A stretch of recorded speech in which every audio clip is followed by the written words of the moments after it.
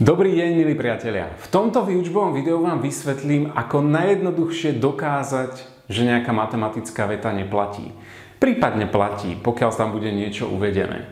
Matematické vety v rámci matematiky je to taká možno náročnejšia oblasť pre študentov, pretože zrazu sa stretávate s niečím, kde ako keby nepočítate. Áno, že tam nemáš klasika, že 5 plus 8, niečo vynásobiť, rovnica, mocniny, Pythagorova veta, objem, obsah, povrch a tak ďalej.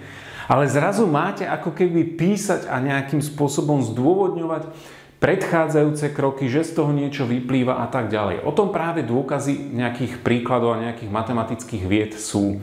Matematická veta a axioma. To vysvetľujem v tomto výučbovom videu a to práve my aj pri dôkazových úlohách využívame. Lenže toto video práve slúži na to, že my sa pýtame na to, že ako najjednoduchším spôsobom, ale ten opak. To znamená, ako najjednoduchším spôsobom dokážem, že matematická veta neplatí. Ten najjednoduchší spôsob, keď máš nejakú matematickú vetu, tak sa ti tam väčšinou vyskytujú nejaké kvantifikátory. Či už kvantifikátor všeobecný, zapísaný takto, prípadne kvantifikátor existenčný, zapísaný takto.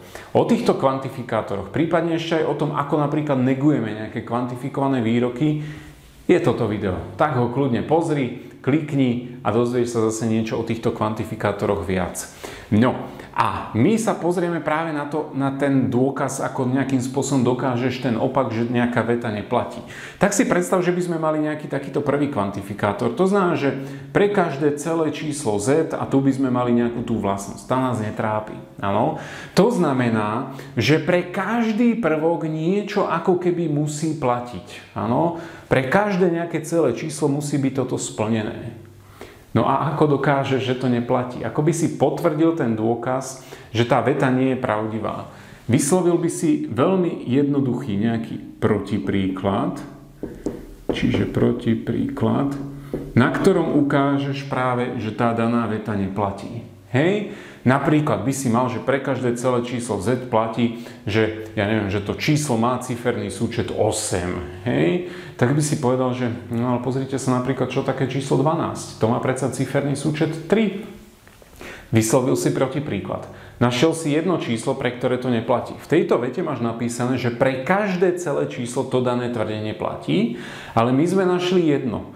Pričom vy viete, že keď tu máš, že pre každé má niečo platiť, tak to musí platiť naozaj pre každé. A keď nájdeš čo i len jedno jediné, pre ktoré to neplatí, tak už celá táto veta neplatí, tým pádom by si napísal, že veta neplatí a dal by si tam obvykle tri písmena, ktoré sa nám vyskytujú v dôkazových úlohách, ktoré sú ako keby takou bodkou, čo bolo treba dokázať hej, v dôkazových úlohách. Takže Vyslovenie proti príkladu je to, ako najjednoduchšie ukáže, že daná veta neplatí. Hej? Pretože pokiaľ sa ti tam vyskytuje tento všeobecný kvantifikátor, že pre všetko má niečo platiť, no tak samozrejme stačí jedno, aby som našiel, pre ktoré to neplatí a tým pádom celá tá veta neplatí. No a čo tento existenčný kvantifikátor? Tam dajme tomu, že by tá veta zase mohla znieť nejako takto, že existuje celé číslo z, pre ktoré niečo platí hej, pre ktoré niečo platí. Takže tá daná veta tu mi v podstate hovorí to, že mi stačí jedno, pre ktoré to platí. Kde by sa ti hľadal ten protipríklad zložitejšie? Tu či tu? Tu potrebujem nájsť jedno jediné číslo, pre ktoré to neplatí. Hej?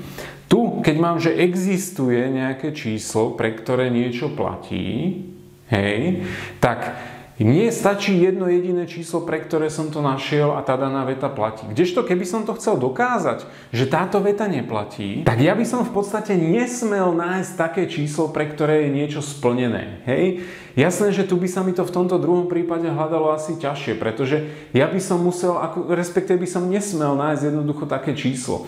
A ten ľudský mozog je samozrejme nastavený skôr na tento prvý prípad, že pre každé má niečo platiť, no tak stačí jedno, v ktorom nájdem, že nejaká tá vlastnosť je splnená a tým pádom celá tá matematická veta nebude platná. Hej? Takže uh, ono väčšinou tento vyslovenie toho protipríkladu je jednoduchšie práve v tomto. Keď mám, že pre všetky niečo platí. Hej? Jedno sklamanie na záver. Tie úlohy, ktoré riešime na stredných školách, kde máme práve napísané, že dokážte, že pre všetky bla bla bla niečo platí, hej, tak tie matematické vety v tých rôznych učebniciach na internete a tak ďalej sú formulované tak, že jednoducho sú platné. Hej? Čo už? Takže po nás sa chce, aby my sme práve pomocou nejakého priamého, nepriamého dôkazu a tak ďalej, ako keby zdôvodnili platnosť tej danej matematickej vety. To znamená, vyslovovali tie jednotlivé kroky, ktoré na seba nadvezujú, že ten ďalší vyplýva z toho predchádzajúceho a postupne sa mi to nabaluje, až to potvrdí platnosť tej danej matematickej vety. Takže ako keby neradil by som vám hneď, že keď vidíš nejakú matematickú vetu, tak začneš vymýšľať tie protipríklady. Áno? Ono, väčšinou, keď sa ti nepodarí po dvoch, troch, štyroch možnostiach ten protipríklad objaviť, tak tam na 99% existovať nebude. Áno, to znamená, že tá daná matematická veta bude platná alebo bude pravdivá a po tebe sa tým pádom chce, aby si ju zdôvodnil. Hej? Ono sa ti te, samozrejme môže stať, že ty budeš zdôvodňovať, ono zapíšeš celú A4 a na konci zistíš, že tá daná veta neplatí. Hej? To je v poriadku, to sa ti stať môže.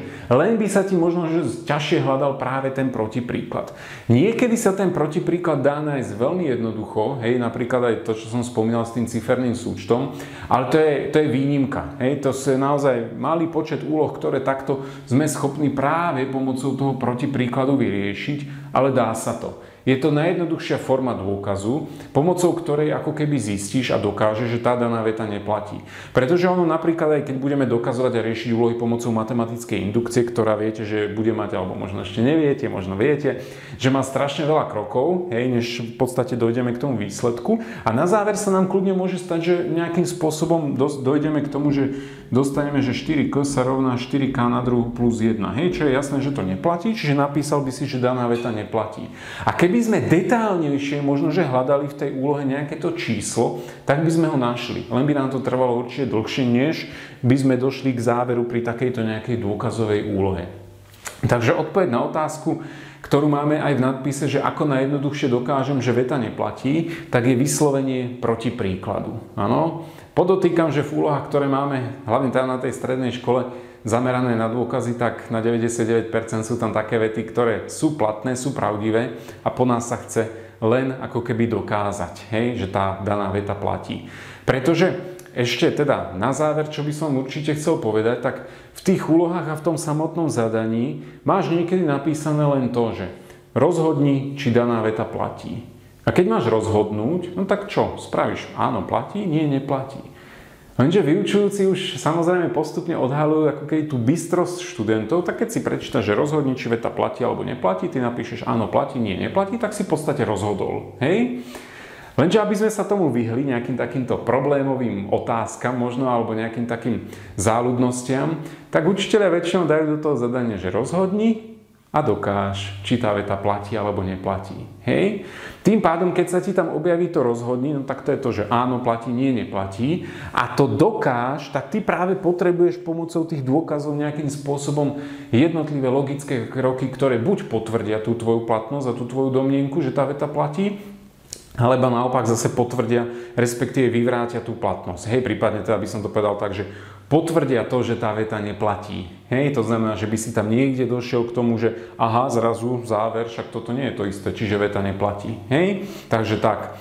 Takže a, toľko video zamerané práve na odpoveď na otázku, že ako najjednoduchšie dokážem, že nejaká veta neplatí. I keď určité sklamanie z vašej strany asi nastalo, že v podstate veľká časť úloh, ktoré riešime na stredných školách, tak sa pomocou toho protipríkladu k tomu výsledku ako keby alebo k tej pravdivostnej hodnote nedohrabeme, ale však to nevadí. Taký je život. Vidíme sa v ďalších videách. Majte sa pekne, sledujte, odoberajte, lajkujte, komentujte a hlavne počítajte. Ahoj.